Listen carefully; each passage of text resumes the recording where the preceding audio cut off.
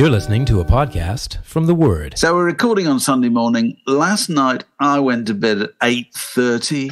How late did you stay up, Alex?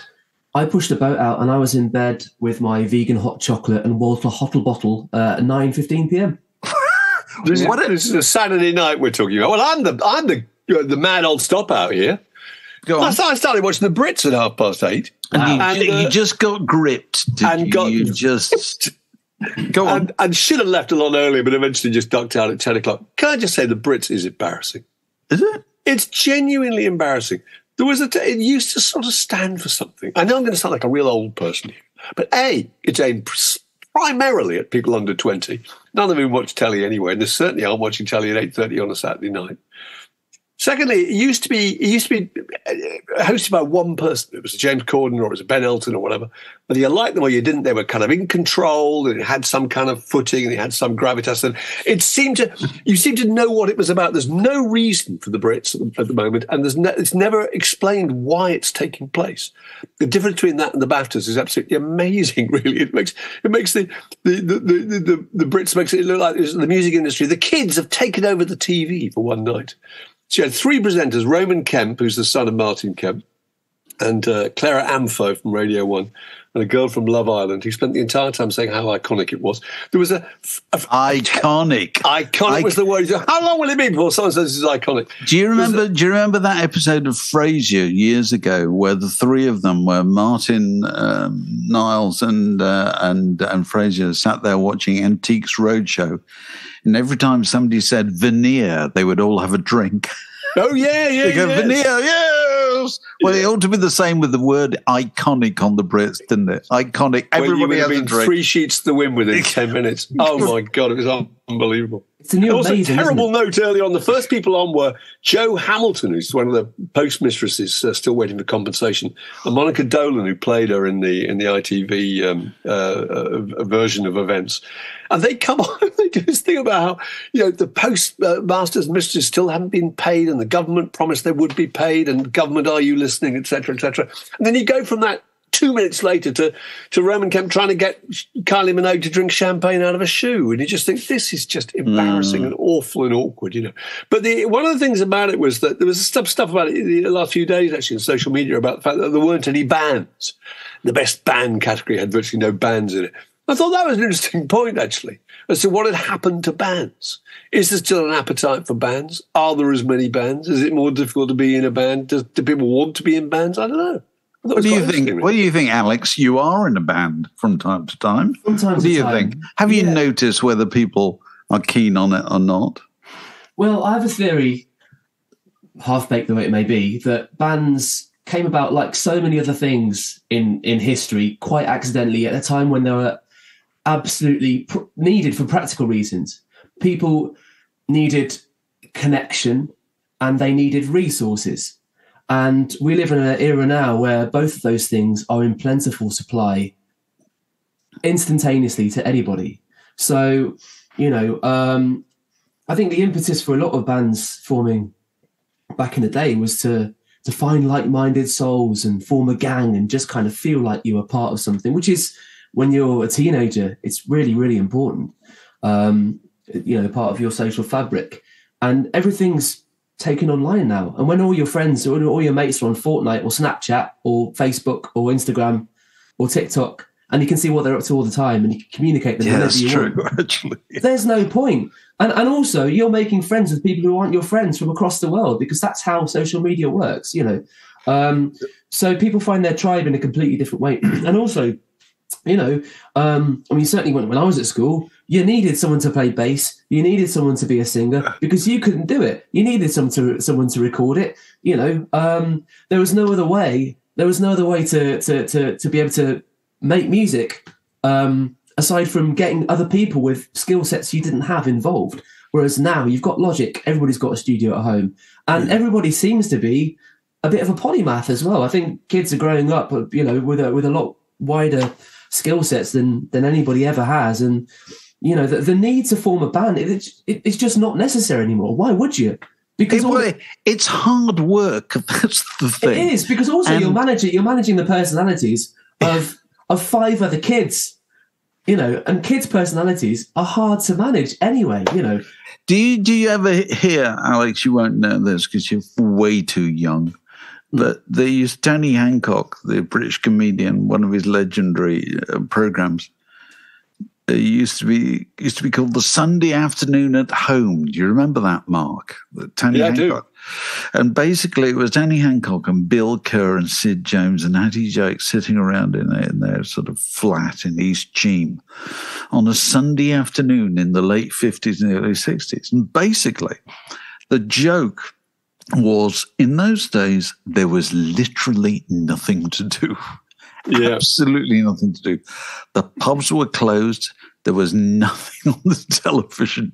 You know, the cinema might open, but it won't open until, until half past seven or whatever. And it's it's in that against that background of nothing to do that the great British bands were invented. You know, they were kind of they were conspiracies against the tedium of everyday life. You know, that if you wanted to form a group, it was really hard to do. It, you know, imagine, you know, in those days, they, they- have to take their instruments on buses across Liverpool or London or whatever to meet the rest of the band, you know, to get together and to rehearse and so forth. Nobody goes to that much trouble for anything any longer. They simply don't because all the diversion in the world is available at, on your at the end of your fingertips, isn't it? You know, you don't need that. You don't need to go anywhere at all. And so, you know, bands used to be a way to one of the ways of dealing with that, you know, of putting something in your life that wasn't there before.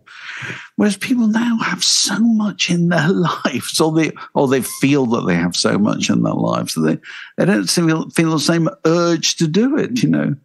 That's And- such a good point. That's Well, really good. I, I, I, go on. no, I was just going to say that what picking up what Alex was saying about being part of those uh, WhatsApp groups. That's a really that's an interesting point too, and it's probably true.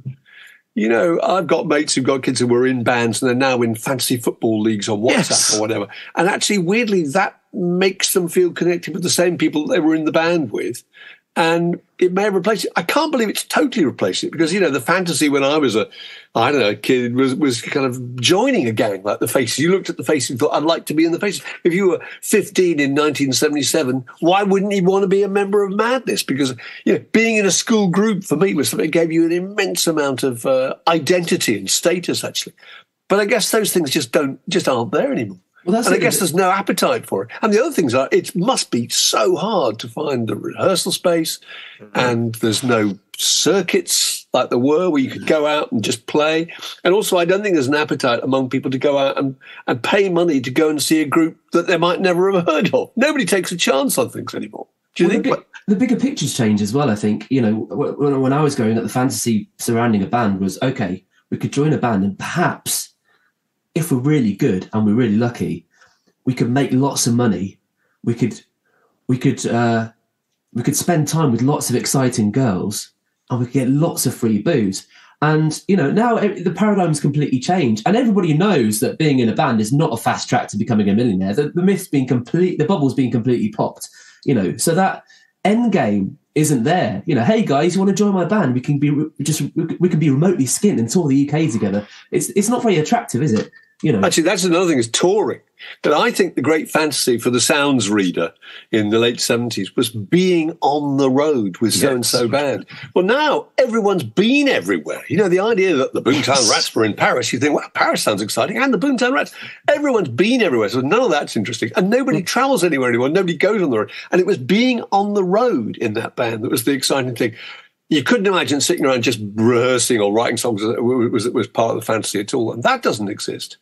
Um, you know, when so when, when the Dave Clark Five went to the United States in 1964, just after the Beatles had come back from their triumphant visit there in February 1964, the Dave Clark Five went to America, and I think I'm right in saying it was their first time out of the country.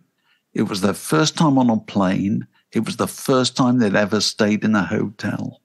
Incredible. All that one night. wow. and they went and did the Ed Sullivan show and, in New York, a big success. And he said, "Can you stay and be here next week?" And so they said, uh, "Well, yeah, but we don't want to stay in New York; it's too cold." And so he flew them down to Montego Bay or somewhere like that. And then they came back the following week. But the point being, they hadn't been anywhere at all the notion that that would happen nowadays, yeah. you know, that, that, anybody would join a band and, uh, you well, know, that, you uh, might get to go to Miami. I've been to Miami loads of times. It'd be £23 on EasyJet. yeah. Well, that's yeah. it. I think, you know, Ryanair and EasyJet, they've kind of play their part in popping the bubble as well because back in the day people went on holiday to Wales in the summer. Yeah, so yeah. anywhere beyond anywhere beyond Barmouth was terribly exotic. You know, now everybody's been to Malaga or Tenerife, you know. Um, so, and- so, tell me, I mean, this question of the circuit kind of interests me because obviously the number of venues shrinks all the time. I mean, I was reading only this morning in the Times that uh, I think 1,500 pubs closed in Britain last year. You know what I mean? Uh, these play uh, the smoking ban, all these things have really affected these businesses uh, were pretty marginal in the first place. But was there ever a time when there were loads of venues and people just went along because there was a band on? You know what I mean? Even though they did not a band with hits or anything like that, because that's what people talk about, you know, the, the, the lack of, of interest in going to see bands that aren't people you've seen on television or whose records you, you know. I mean, was there ever a time when there was that kind of circuit? Was it, Alex, in your memory? I mean, probably more than there is now, but I don't think. I think people have always been, to an extent, uh, wanting to be sure of what it is they're getting. You know, how strange is that? I know, right? and so the prospect of taking a punt on a bunch of bunch of chances playing Mustang Sally, you know, it's it's not. It's if not, only, if only they were playing Mustang Sally, Alex. Alex uh, but if you, you put it outside the pub and you know and in big letters, mm. band will play Mustang Sally, but you're not getting that with they're most not, of the. They're, they're playing their own material, their own yeah. material. indeed with another unknown, which is a bit frightening. I used to work at a venue in High Wycombe when I was at uni. Uh, it was um, it was the world's grimmest strip club in a day and a metal venue at night. Oh, um, lovely! Yeah, so it was it was quite quite a place. But we used to have bands on every night of the week, and um, after the every night, home, every night, every night, seven nights a week. In fact, the Kings of Leon played their first UK show there. I wasn't there, but there's there's an interview somewhere of them talking about it and being asked what their what the worst gig they've ever played in it was, and they were talking about this horrible hovel somewhere in the southeast of England that had um, uh, very depressed ladies taking their clothes off during the day. It was the White Horse in High Wycombe, recently closed, but we used to have bands on seven nights a week, and the venue was half full for one of them, probably. And this is. So do you think people have gone gone along knowing nothing about them? Just just think, I'll just I'll risk it. It's it's thirty five p, whatever. No, I think all these bands pulled in there. Sometimes we had a well-known band like Bloc Party come through, who would who would sell out the venue, uh, who are clearly on their way up. But predominantly, it would be you know it would be arse curtains, you know, or, so, or someone, yeah, or someone like that, legendary arse curtains, bringing along their mates from Aylesbury and Hemel Hempstead, and it, you know, the, and and the, the success of the gig depended on how many mates the bands had and how how bothered they could be to make the trip out. I think it was just all to do with people's individual networks. Mm. nobody was really taking a punt. Nobody was really that bothered because they were reading about all the bands they knew they liked in the NME, and they go and see them. You know, yeah. Then, so, um, but that issue about being the, there being any money in it, I think is interesting because we kind of look back at a time when groups in the late 70s and early 80s whatever, were selling quite a lot of records. Therefore, they must have made some money. Well, no, no, they, I'm sure they didn't. A, that they were they were on record company advances, which and, and probably left those um, record companies probably owing quite a lot of money. B, only the songwriter probably would have made a decent amount of money anyway. Did any member of the of the Skids, apart from the people who wrote the songs, ever make a lot of? Do you remember when we interviewed um, Pauline Murray of Penetration? Yes, and she had a little um, in her book, she had a, a, a, a little uh, statement of the profit and loss of penetration oh, for Virgin over two years, wow. Virgin yeah. years. And I'm think I'm right in saying, was it? Did they over two years? Did they either make or lose six hundred quid? I can't remember. It was just nothing. It was absolutely nothing. By the time the expenses had come in, By the time everything that the record company wanted to charge them for coming, there was nothing. And you kind of got the impression that penetration were doing quite well. Well, they But had no. one hit, didn't they? So no, people are complaining now. You're not going to make any money out of streaming. Well, no, of course, of course you don't. You get 0.005 pence per track or whatever. But I don't think that's any different from what it was back then. I can't imagine that many people made a decent amount of money if they didn't write the song. I don't think it is, and I'm not supposed to say this being a musician, but I do think there's a tendency among the musical fraternity to believe that because I've written songs and I play them, I'm entitled to a living from them, and it doesn't work like that. And I think it's you know it's it's it's simplifying a very complex thing that you know um, that involves many powers that are beyond your control as a musician, i.e., society at large. And you know, I don't think the the streaming scenario. I think it equates to how it's always been, broadly speaking, but just in a different way. Well, you not, you don't feel you're entitled to a living from them. You, you'd like them to be popular enough for you to make a living from them. But I don't, Yeah. do you think you feel that people are, you know, does that guarantee me a career? I, I, don't know. I think some people are still sold in this myth that you know because because I am a troubadour or whatever you know I I, I deserve to make a living from it automatically. You know um, I'm entitled to be paid for all this time I put into writing this average song. There, there, there is that because people are you know artists are really they, they're so sold in their vision a lot of the time. It's hard for them to see anything else. The other thing, the other factor that is um, come into play in the last 10, 10, 20 years is that of the money that people spend on music, um, and this will apply to both mm, going to see live music and also streaming or downloading or whatever, a larger and larger proportion of it goes to a smaller and smaller proportion of the of the performers.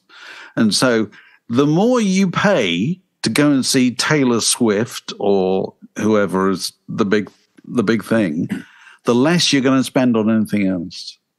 Do you know what I mean? It's not passed around equally. You know, pe- people don't people don't think to themselves, well, I tell you what, instead of spending 150 pounds to go and see Taylor Swift, I'll go and see 10 groups who'll cost me 15 pounds each. It doesn't work like that at all, does it? You know, because yeah, here's one of the fun, fundamental problems about, you know, people will always complain that the music business isn't fair. Well, of course it isn't fair.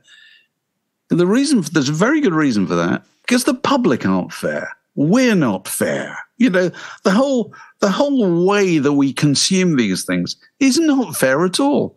We, only think about ourselves. no, Right. no, but we listen to a small number of people endlessly because that's what we like, Yeah. rather than listening to a, a wider number of people fewer times, you know, spreading it around. It doesn't work like that. You know what I mean? What drives people is a very, very small number of, of big names, you know, and so the whole notion of the music business ever being fair is just preposterous. It's got unfairness is built into its very into its very nature. And you can say exactly the same thing about the film business or the, or the book business or whatever, you know. You know, transfer your, your complaints about the music business to the book business for a second, Alex. Yeah. What who who are the most successful authors in the UK? Are they the best at authoring? No. They're people famous on the television. It's as simple as that. And they'll come from all kinds of backgrounds. Yeah. And and that's what sells books. Being famous on the television doesn't mean that everybody's famous on the television is going to do it, but it means that you're not going to do it unless you're famous on the television or you're J.K. Rowling. Yeah. So it's it's not fair anywhere you look. But I think people's expectations of what they what they want from a band have changed as well as shows are getting more sophisticated. You know, Taylor's show is a really good example of that. Um, uh, I you know I, I feel like successful bands now they aren't really bands; there are concepts, and a band has to you know it's not enough to have four guys with shaggy hair and leather jackets. I mean that's been done to death, and it and it clearly hasn't changed the world despite everybody's best efforts you know. Um, and so, so that bubble's been popped as well. And I think that Wet Leg and The Last Dinner Party are two really good examples. Wet Leg's a concept, isn't it? It's a big in joke. And you go knowing that you're going to be immersed in this in joke for an hour and a half and you're going to be happy with that and you're going to leave, you know, having got what you wanted from Wet Leg. Last Dinner Party, this gothic, gothic renaissance, medieval kind of um, sort of, yeah, I suppose, throwback in a way but you know exactly what you're getting the production you're getting the finely tuned Yeah, fully formed um, production. That, that, You get the story. You get the story. A- It goes back to Robert Forster's book, 10 Rules of Rock and Roll, 10 Commandments of Rock and Roll, or whatever it's called, isn't it? That we've talked about in the past. That most band, bands have shown you everything they have to show you by the third number. You know, Yeah. and, and there he's talking, and that's absolutely true. You know, all the all the information that is going to be vouchsafed has has already been transmitted by the third number. Whereas, you know, you go and see the last dinner party or whatever, the, there is a sense that there's a show there, isn't there? Absolutely. There's That's very true about Last Dinner Party. They're very much a, uh, they're they're a kind of video concept, and they're a, they're a photo opportunity concept, and they, they don't actually have a drummer. When they when they play, they have to bring in somebody else, but that drummer isn't a member of the band because the Right. band just looks like this particular picture. yeah, I yeah. think you're right. Actually, it's kind of and the songs are slightly fantasy, aren't they? Do you think also there's another thing going on un, under here that that for young blokes it's all over? Totally, because because young blokes know. As I say, the, the primary reason why young blokes know now that joining a band isn't a isn't a fast track to, to pulling loads of exciting young ladies in floor print dresses. It's just not. The, the, the sex appeal of being in a band is completely gone. It's not a sexy thing anymore. It's just not. Wow, Is it Now not? that That's is- interesting. So that do is think serious news. that really? That's very interesting. So because the old thing was, if you hung a, a, a guitar around your neck, it was a powerful aphrodisiac, supposedly, wasn't it? No, in no, the 80s. no. So do you think And- that's so people don't? Do you mean you don't automatically fancy people on stage with? Yeah, now, now having a guitar hung around your neck, neck insinuates that you may or may not be homeless. All oh, right. so many bubbles popping in this conversation. but there's also there's also here's another one though that um, and um, Mark and I were talking about this the other day. You know that that that you know a lot of what we're talking about here is is is based on a thing that Will Hodgkinson wrote in the Times about why are there are no bands. You know, to time with the Brits and so forth, and. Uh, and there's a quotation there from a member of the last dinner party, and uh, not not a controversial quote at all, but people launched in on the on this person saying, "Oh, well, she went to this posh school or whatever," and um, and I was saying that you know the, the whole has social media just completely killed pop music in the sense that nobody can say anything any longer, and a lot of what male bands used to say was, "We're blokes." We're look at us. We're out there. We're on the lash. You know, we're wild and crazy. We're we're raised by wolves. Look at us. We're really strange. You you can't say that anymore. You're not allowed that No, expression. because it sounds predatory or threatening, or you know. Absolutely. Yeah. And, and the only people, the only people who do I, I, I realized this recently, you know, that um, if you watch female comics, as I do, endless clips on YouTube shorts or whatever, what do all female comics talk about nearly all the time? Sex. What do all male comics never talk about ever? They can't. They Sex. can't talk about sex. They simply can't. Absolutely it's cannot. absolutely flipped around, you know. Totally. And uh, and so a lot it's of considered to be aggressive and uh, Yes. predatory, isn't it? Uh, so so a lot of the kind of behaviours of an I don't know Oasis or, or whatever back in the day, you wouldn't be you simply not allowed those kind of behaviours in the public space anymore. And that was a lot of what rock bands did. A lot of what rock bands did was turn up in the NME every week, going, "Look at us, we're amazing." You know, we just we go too far. That's our whole Yeah. thing. You know, can't do it anymore.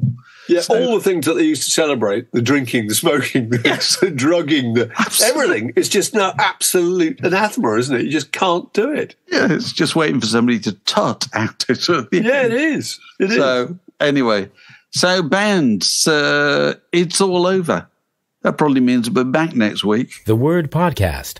Prime cuts of popular culture served fresh each week. So I was talking to, to a, a gentleman of my acquaintance the other day, and, and one of the things he does is he runs a kind of medieval fair down in Sussex every year, where quite significant numbers of people come from come from for a few consecutive weekends to to sit in the greensward and uh, and uh, you know witness reconstructions of jousting contests or whatever, and uh, you know probably drink mead and listen to medieval music and so forth.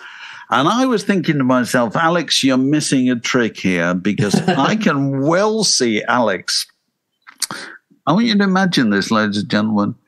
Uh, if Alex is, is kitted out in doublet and hose, and he's equipped with a lute rather than his usual guitar, and he just actually walks around the grounds of these this medieval fair, singing Beatles songs adapted for uh, for ancient times.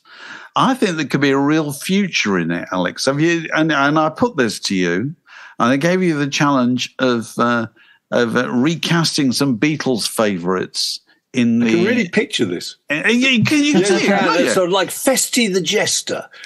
you know, that's right.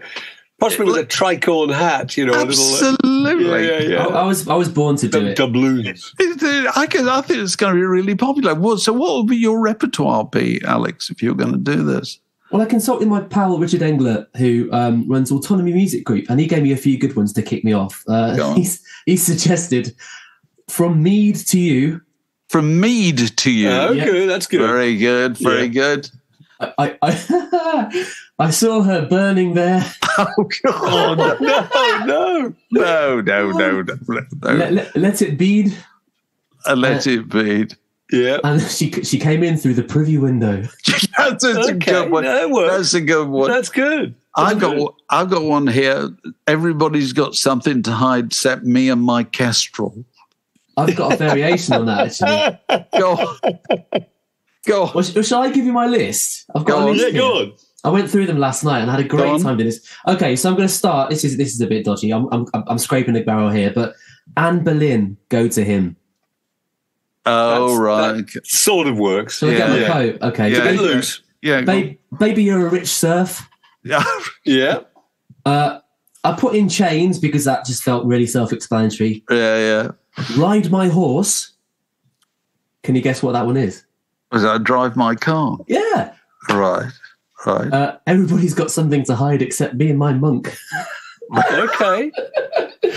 Not as good as Kestrel, but it's good. Fixing a murder hole. Okay. Free as a baron. I don't want to spoil the jousting tourney. I want to chop off your hand. oh. Oh, Lord. This is all, If I this is all getting gruesome. It's getting too grisly. Okay. Is it- How about how about comely Rita? Could we, do we talk about from me to thou or something like that? At that Well, I've got she esteems you. She esteems you. Oh, that's good. Comely Rita's very good. I've got. I'm happy to, just to joust with you. Just the Oh, that's with you. very good.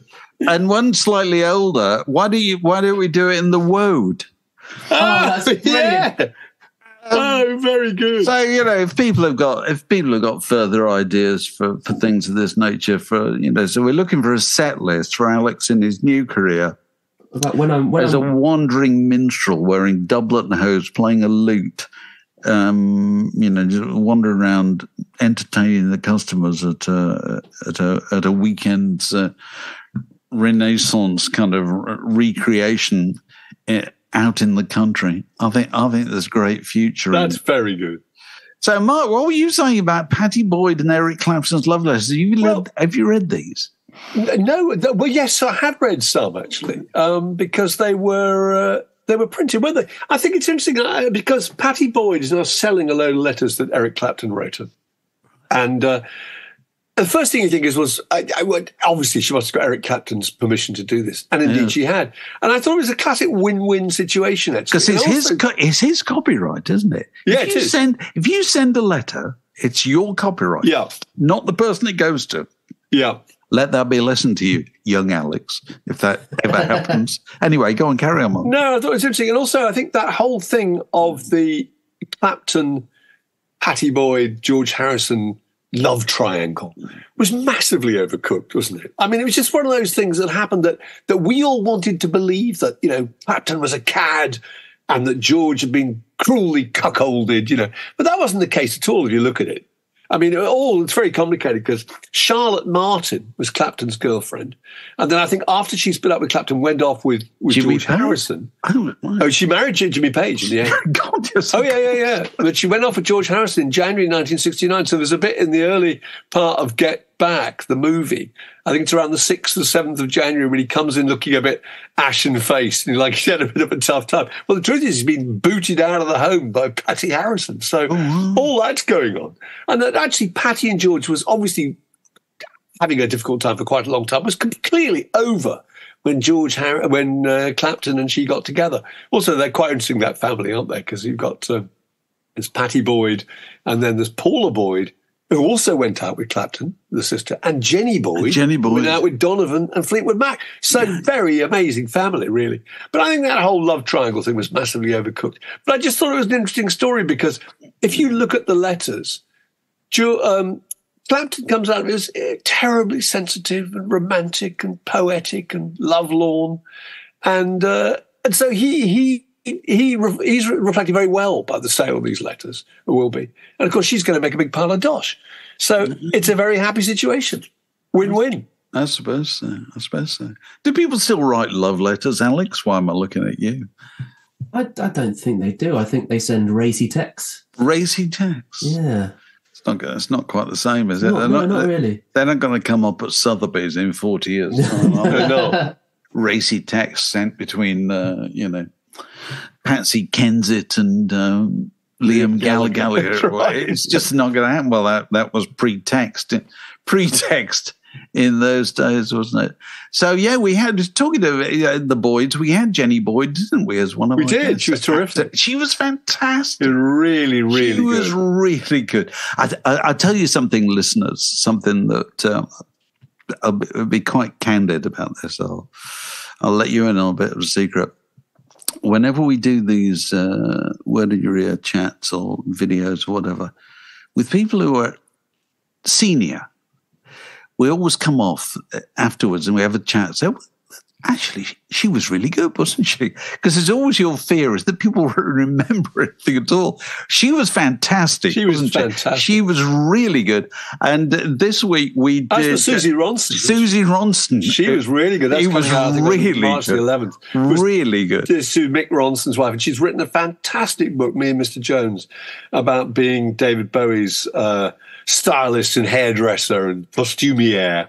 She was just really sharp and She's terribly good memory. Terribly as good. with Steve Howe. As Steve with Howe. Steve Howe, that's what I was going to say because we, we achieved a bit of a lifetime ambition the other day is to speak to Steve Howe out of Yes because I still have very fond memories going to see Yes at the LSE in in the in the spring of 1971. And Mark, uh, Mark you saw them in, in where was I it? saw them October Southampton. 71, Southampton Guildhall, yeah. And he was Uh, so touched because we started off by saying, We saw you when you were touring 54, was it 53 years ago? I held up my old copy of Fragile. He was really, really touched, wasn't he? He was terribly good, terribly good all the way through. And uh, and we said, well, you know, when we saw you, you were the new boy who just joined Yes, and now you're the kind of oldest member, to borrow an expression from P.G. Wodehouse's golfing stories. So. Steve Howe actually had a list somebody had sent him of, of what is it, Mark? I think you've got it there. I the got it from, yeah, the oldest musicians Still, go on. still touring, recording, and kicking. Shall I read some out? I mean, I can read Go on. This. It's really interesting. Willie Nelson's at the top, 90. 90. He's going on tour this summer with young whippersnapper Bob Dylan. Bob Dylan, 82. And uh, 82. John Cougar Mellencamp. Amazing. John Mayall, 90. Frankie Valli, 89. Herb Alpert is 88. Buddy Guy, 87. Ringo Starr, 83. So it does seem quite old now, 83, doesn't it? Tom Jones, 83. Dionne Warwick, uh, Dionne Warwick, 83. S- Smokey Robinson, 83. Bob Dylan, we done. Uh, John McLaughlin's 82. Paul Simon, 82. He's still retiring, isn't he? Paul Simon. Bowing out. He still does interviews and so forth. I don't think he's yeah. performing live. Anyway, go and carry on. Yeah. Andy Summers, 81. That's interesting, isn't it? Andy Summers is Andy 81. Summers. Andy Summers. Could that be right? Yes. It could be right. Because Andy Summers was a member of Zoot Money's Big Roll Band in like 1966. So, yes, it's perfectly possible. I'm just That going to quickly really Google. Andy. Summers was, I think, I think he was older than various members of the Beatles, wasn't he? Yeah, here we are. Born 31st of December 1942. So that makes him older than George Harrison. Isn't that amazing?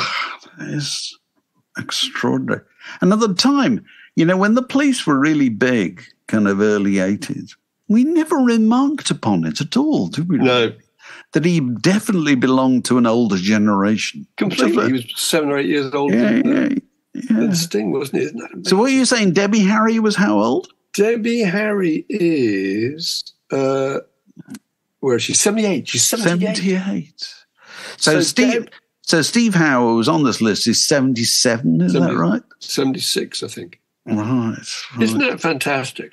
So, do you think we'll see a day? Now, you know, so Bob Dylan and and, and like is, still kind of on tour uh, at the age of eighty-two, and you know, when Bob Dylan grew up, I mean, nobody would have been performing that that late in life, you know, and people wouldn't have lived beyond seventy-five or whatever in those days. But obviously, life expectancy is increasing all the time. Is it not likely that Ed Sheeran will still be playing at the age of 100? It's quite possible, isn't it? Wow. Expensive medical care, uh, a, a, fearsome exercise regimen throughout He'd probably life. be in very good nick. He probably really Yeah. looks after himself, you know, in, Yeah. in a way that earlier generations didn't. yeah, You know, so so it'll be, you know, the, the there will be, you know, Giza stock in in, in the year, you know, in, in, in forty years' time will will be, you know, Taylor Swift, Ed Sheeran, Harry Styles, and so forth. Will all be taking the taking the stage at the age of ninety five plus. I think that's going to happen, Alex. Don't I'm you? sure it's going to. I shall look forward to Liam Gallagher hobbling on age 92 and wheezing his way through cigarettes and alcohol. This is a junction in the word podcast. It separates that bit from this next bit. Has anybody joined our new Patreon family, Alex? They have. We Good. indeed, We've got uh, we've got a bunch of new patrons. Whatever the collective noun is for a group of patrons, Right. sign up for patrons. Um, I'm going to read their names out now for you. Um, No. I'm going to start with John Williams. John Williams is. I, I can't make a. Oh, I- can, can I make a joke out of John Williams? I don't know if I can. Classical Hey, guitarist, Classical wasn't it? guitar player and, and, and film score composer. famous film composer, indeed. And Yeah, mem- very, very glad to have such a celebrity on board. member of Sky, wasn't it? A group Yeah. called Sky, wasn't it? Guy with, with two Y's or something spelt weirdly, wasn't it? Oh, I don't know about that. Anyway, carry on. David A. James. David A. David James. Was there a member of Modern Romance called David James? There was a member of Modern Romance called Dave James, nice, nice bloke, who um, subsequently did a lot of work with Jah Wobble, who was a guest of ours only the other day on uh, Word Area. And, uh, he's the, with his excellent autobiography just come out. Was Carry there on. also a goalkeeper called David James? There is, there is. Well, he retired, retired goalkeeper called David James. Yes, indeed. Carry on. What? Who Okay. else we got? We've got Jack at the Beach. Jack at the beach. Yeah. Is that a bit of a, possibly not their real name. no? Possibly not. Well, welcome nonetheless. Jean Laplage. Yeah, absolutely. Yeah. Uh, Matthew Crossley. Matthew Crossley, excellent. Well, it's very, it's always nice to um, to welcome you on board. Matthew Crossley sounds like a, a yeah a, a Notts County uh, defensive player. right? 70s. Okay. Very good. The seventies, because nowadays they're all called Kyle, aren't they? You see that? Yeah. It- it- anyway, carry on. Stuart Hanscombe. Stuart Hanscom, good. Listen, all these people are immensely welcome. It's really important to us to to have the support of these people uh, in order to to maintain the extraordinary level of productivity that we we have established. Carry on. Anybody else? Well, indeed, uh, Alan with a U, Griffiths. Alan with a U. How does that work? Where does the U go? The U goes between the L and the M.